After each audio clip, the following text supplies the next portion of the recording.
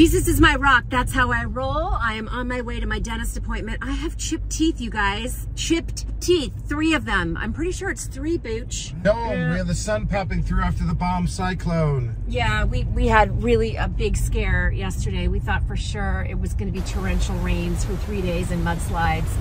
All of it, but there was evacuation. thank you, God. Oh, dental. That's him.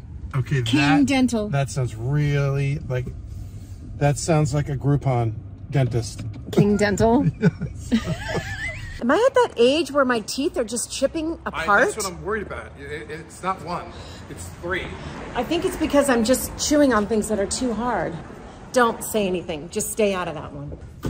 You and your mind, the way you think. That is not going in the video. This is Dr. King, and he is the king. I think you deserve another parking spot out there. You only have two, you deserve three. I know, I agree. Yes. He just gave me a couple little, uh, not even fillings. What are they? It was a filling, more, more like a sealant. A sealant. A sealant just to cover up a chip spot. It, It's like it was very, microchip. very, very painful, and I'm wondering where you were. I was checking out your latest Cal Preach video. Sure. No, it wasn't painful. He's the best. Just the final polish and we're gonna be out of here. Guys, this is my new merch. I like it. Follow the piece. I like it. Follow the piece of my tooth. But we No longer there. we don't Thank you for joining me. You're such a good husband. You're the dental fairy. I'm the Tooth Fairy. The dental fairy. The Tooth fairy.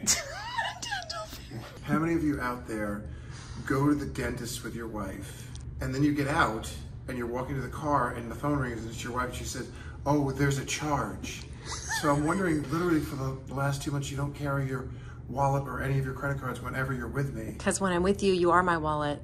Right, but it's a joint account, so if it comes out of your account or my account, it's our account. Right, but it's one less thing to carry. So it's one less thing to carry. You're not carrying your own cards again, and you were surprised. You said to me, "There's a charge."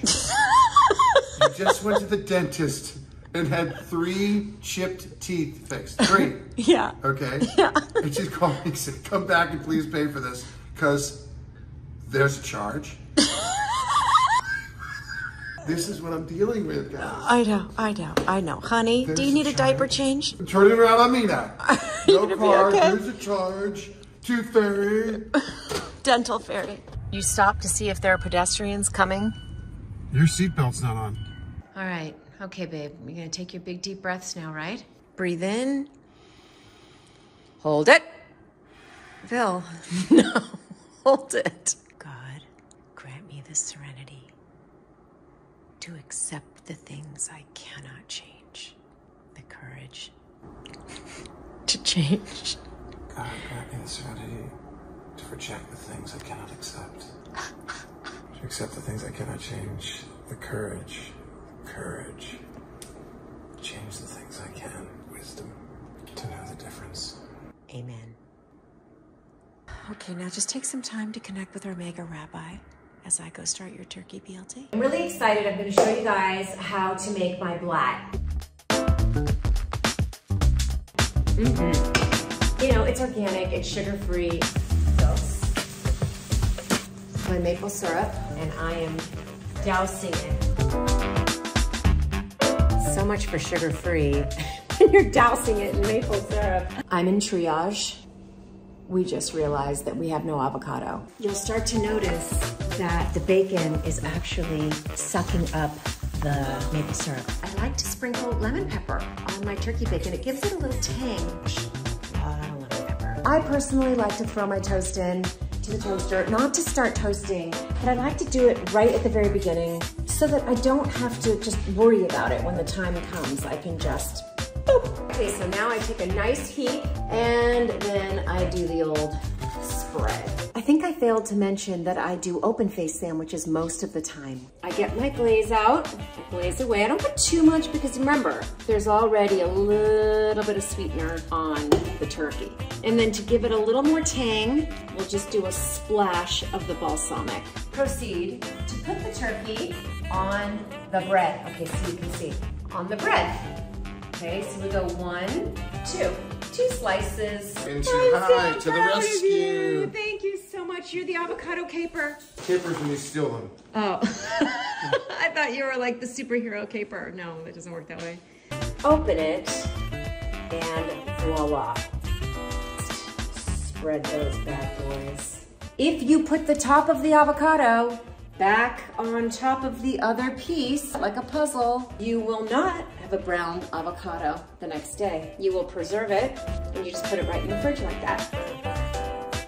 Separating the lettuce. there. That's how my cooking show table is looking. What are you having to drink, my dear sweet love? Honesty. Honesty is such. A lonely Again, no, we didn't do it well. We don't know the words. Honesty is such a lonely word. Every something is so untrue. Every what is so untrue? I want to. I want to figure this out. Every man. Every man. Right, here we go. Taste test. Mmm. Forget about it. Mm. Oh, thank you, God. Thank you, God. We pray.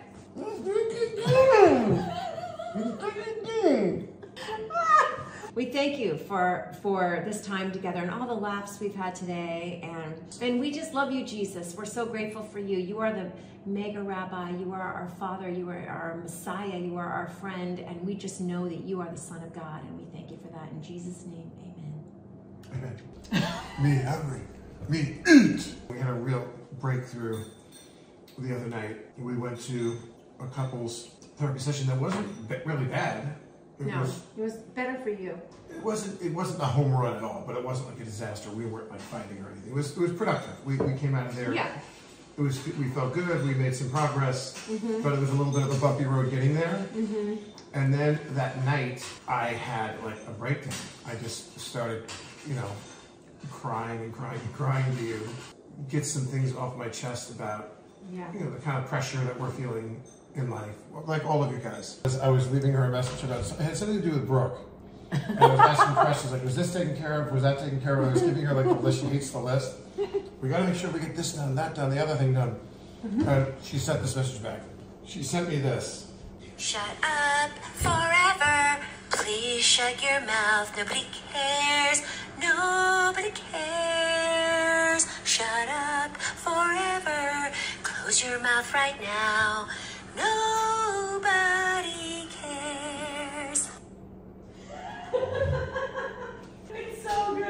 Yeah, that's what I got when I was just trying to be a dad. And I appreciate how well we're getting along and how hard we're working and trying and Yeah. I love that I have a husband that can cry. Just be real with me and tell me what's going on. And I'm not a person who's afraid to share their feelings or to be emotional. Not at all. Not at all. I wrote a song where I talk about, you know, tears and what they mean and what they represent and stuff. Yeah.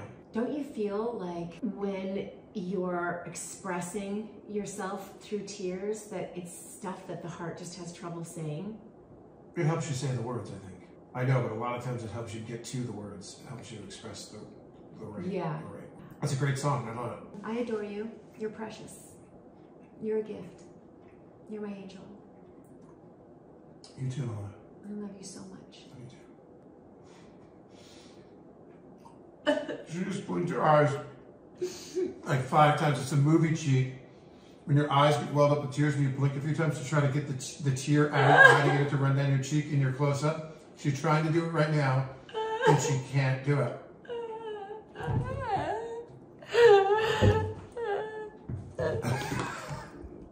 See? Oh my gosh, I'm fully crying right now. I'm fully crying. I don't see one tear on your cheek. How do you get mascara to run if you're not crying? Where's it running? I don't see a tear. I'm crying. I just can't manufacture a tear. Now we're gonna have a crying contest. I win. There's nothing there. There's no tears streaming down your face You have barely anything in your eyes either. Give me a second. Oh, oh, oh, oh! You get to take it from your drink. I did not. Please, Bill, seriously, look at me. Hold my hand. You can talk to me about absolutely anything. Mm-hmm. Don't get loud. Just deliver it in a loving way. Okay, I'm working towards that. My- goal is to get better for that in 23. That's a really good New Year's Mm-hmm. resolution for both of us. That I can be able to receive it and that you can feel free enough to share it. Mm-hmm. But it's a lot about, you know, men don't understand that it's about delivery. If you come out, you've come out of the gate like really strong and loud voice and you're trying to communicate something, but you're putting me on the defense or, or upsetting me or sending a chill down my spine, that's not going to be a great way to communicate. I think that's super important.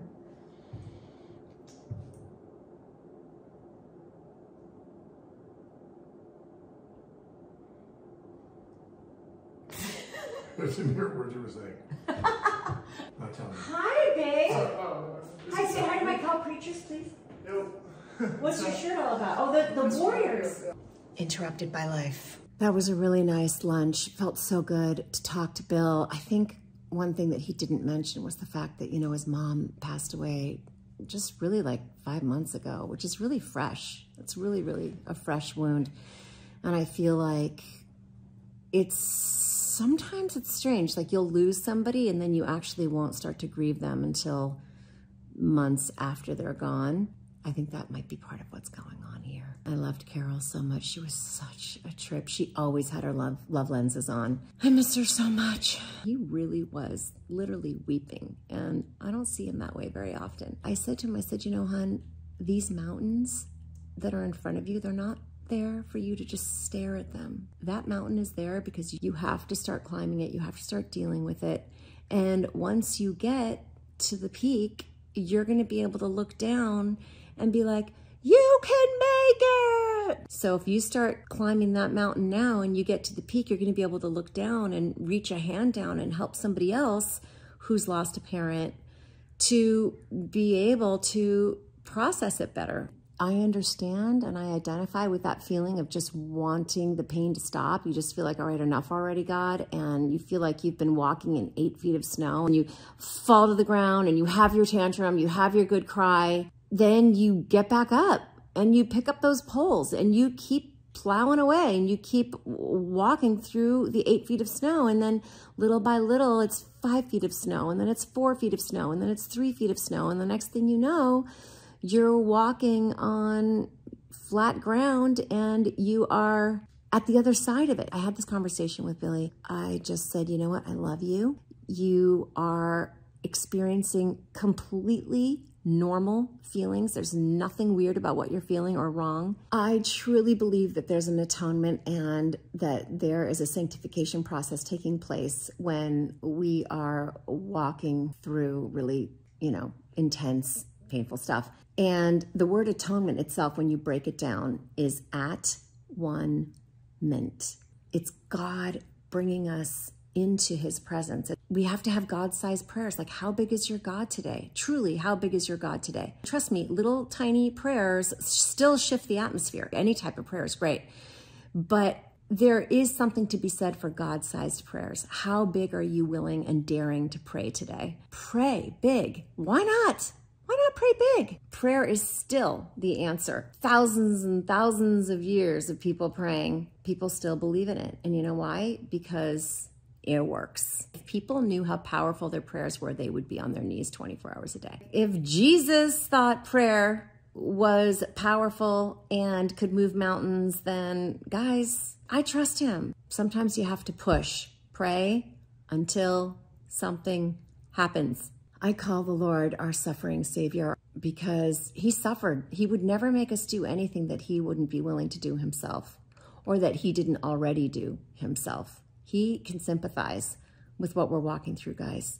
Take comfort in that today. I just ask you all to continue to pray for Bill and just help him to be able to process his grief and to be able to get to the other side of it. Hopefully, there's a whole lot of Holy Spirit activation. Billy is such a philanthropist. He just loves helping other people. I just want to keep reminding him that the people who have suffered the most are the ones who make the greatest comforters. Even if it's painful and even if it just feels strenuous to work through emotions, even if you can't do it for you, just remember that like if you work through this stuff, you're going to be able to help more people than you can even count because of your bravery and your courage to walk through. And it does take a commitment to say, no, I'm going to do this. It's going to it's going to be rough and it's going to be a challenge, but I'm up for it. Bring it. Let's go. Oh, I wanted to mention my website was down for the entire holiday season and I'm so sorry. There was a glitch and I'm not really sure what was going on, but we got it all fixed. It's all taken care of. And the merch code is Happy New Year. So if you want to go onto my website, if you placed an order, you're going to be reimbursed. But if you want to replace your order, go ahead and do it now. Merch code is Happy New Year. Keep Jesus on tap today. I, I love you all so much. And remember, the grass is not always greener on the other side. It's greener where you water it. Peace of